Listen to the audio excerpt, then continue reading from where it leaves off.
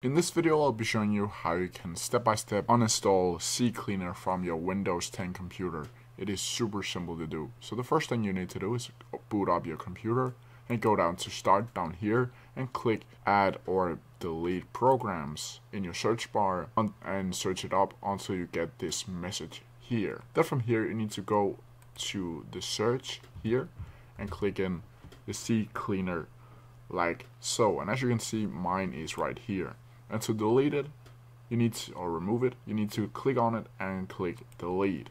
And click delete again. And then a pop-up screen will ask you if you're actually sure you want to delete it and you just click yes. And now as you can see now it is deleting. And as you can see the uninstallment page is right here and you can just click next uninstall. And as you can see now it is uninstalling. And then you can just click done and as you can see now CCleaner has been uninstalled from my computer and that's how you do it. If you have any questions about it, please leave them down in the comment section below and I'll try my best to answer them as quickly as possible. See ya!